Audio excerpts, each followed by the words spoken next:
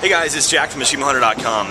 And uh, yeah, so when Jeff sent me out to E3, he said, I want you to make a video that will make up for the cost of you going to E3. And I said, What kind of video? He said, Any video that'll pull in a whole lot of views. So, uh, yeah, you get this.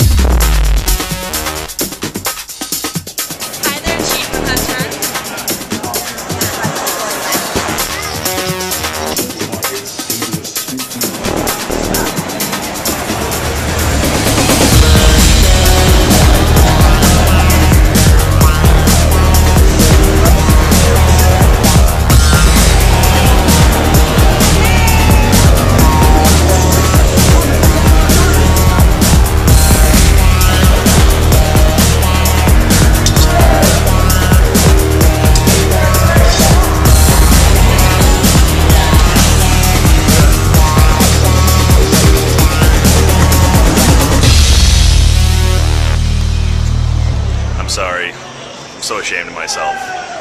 Oh well. Hope you liked it.